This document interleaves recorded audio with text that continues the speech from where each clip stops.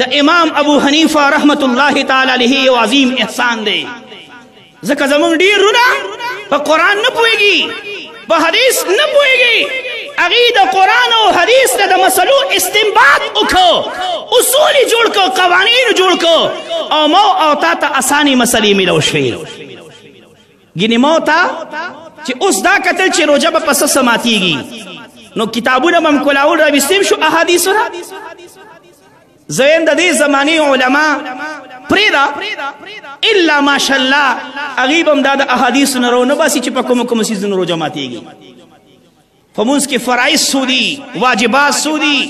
مستحبات عمل کوم دي مونږ په سماتيږي مکروه کېږي پسو که ار یو کس ځان قرآن او حدیث کولاولو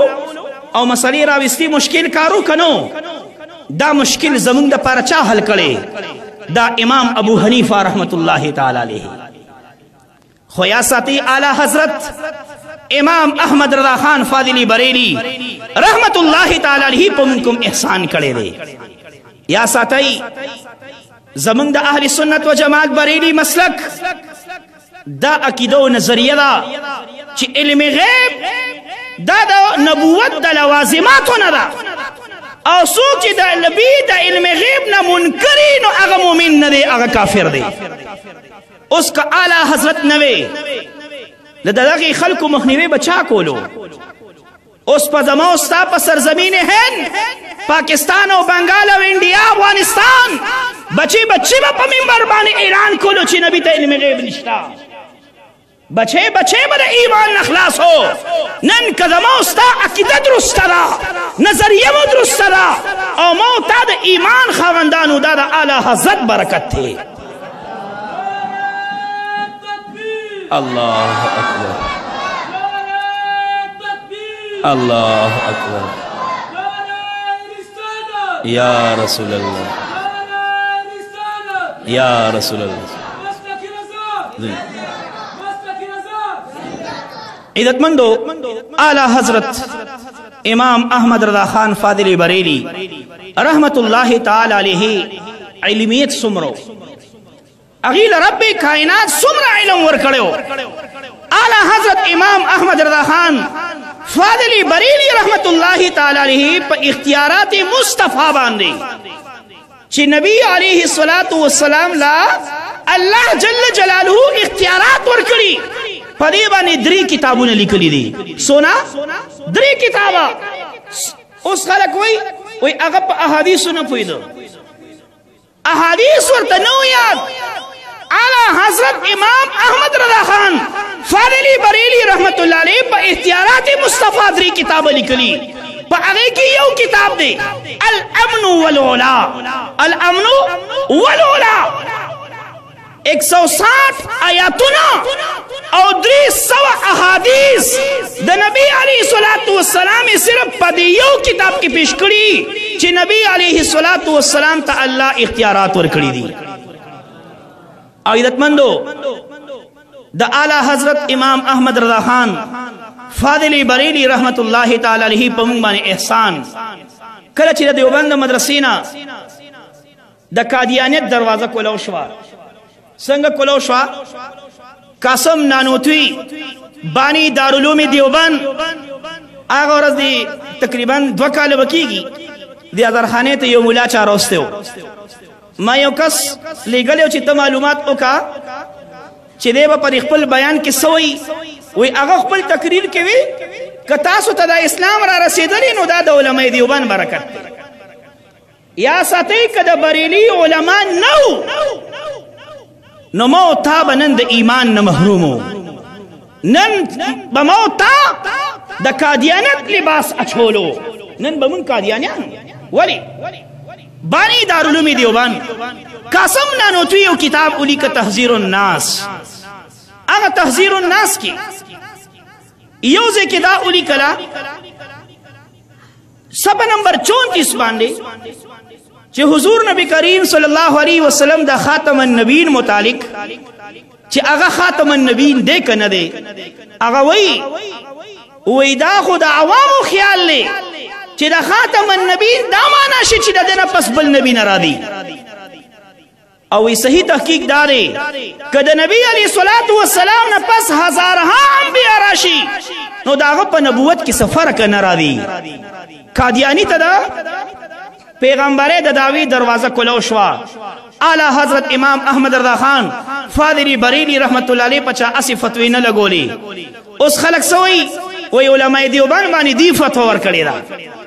نه مونږ ورکړی دا نه اعلی حضرت ورکړی دا د هغه نه مخ کې اعلی حضرت د دې دا کتاب راواغس او د حرم شریف ته یوړو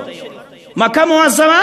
او مدینه منوره کې په هغه وخت کې د سلورو مذهبونو مفتیان حضرات ناسو اوس خو د یو مذهب ناس دي د خپل مفتیانی هغه وخت کې به د سلورو مذهبونو مفتیان ناست وو اعلی حضرت دغه کتاب د هغه مفتیانو په وړاندې کې خود چې په هندستان کې په دارلوم دیوبند کې قاسم نانوتوی نومي یو کس ته دغه کتاب لیکلی شپږ دیرش مفتیانو د حرمینو نه په هغه باندې د کفر فتوا ورکا دا چا ورکا د بیت الله شریف د حرم د بیت الله چې کوم مفتیانو او د حرم د مدینه منورې چې کوم مفتیانو شپږ دیش مفتیانو په قسم نه نوتی باندې د کفر فتوا ورکا او هغه فتوا بیا هغه راوړه او په هندستان کې په علماو وګرځولا په زرګونو علماو په دغه علماي دیوبند باندې د کفر فتوا ورکا تاسو نه تپوس کوم فتوا اعلی حضرت ور کړی و کنو له خلق ور کړی و هغه خو خالی د مفتیانو تایید کړو نو عزت مندو ام تاسو ته ماوی چې نن موږ ټول قادیانیانو ولی کله چې بیا تقریبا په 73 کې قادیانی کله د پیغمبري داوا وکړه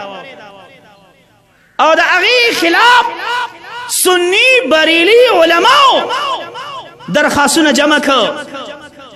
چې قادیانی کافر دی او بیا په عدالت کې د جج په وړاندې غلام احمد قادیانی دغه د بانی دارلوم دیوبند کتاب تحذير الناس پلاس کې نیولیو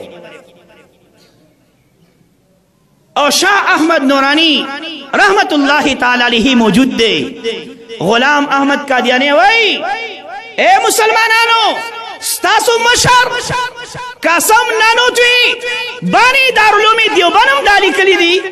چې د نبی علی صلوات و سلام نه پس هزار هم بیا راشي د هغه نبوت کې څه فرق نه راغی وای که په هزارو کې یو زر هغه نو څه چل وشو یا ساتي علماء دیوبانی جواب کولی شي هرگز نشي کولی که جواب یې کوي او قادیاني ته کافر وایي نو د هغې نه مخکې به قاسم نانوتي ته کافر وایي او کنه قاسم نانوتي ته کافر نه وایي نو بیا دا دیوبندیان غلام محمد قادیاني ته هم کافر نشي ویلی په هغه ډک مجلس کې ډېر دیوبندیان ناستو هیڅوک غږ نشي کولی یا ستی د جرأت خبره په نبی د غیرت خبره په دین د ځان قرباني دو خبره چې کله راغلی همیشه د پر مسلکی حق اهل سنت و جماعت بریری مسلک والا قرباني پیش کړی دا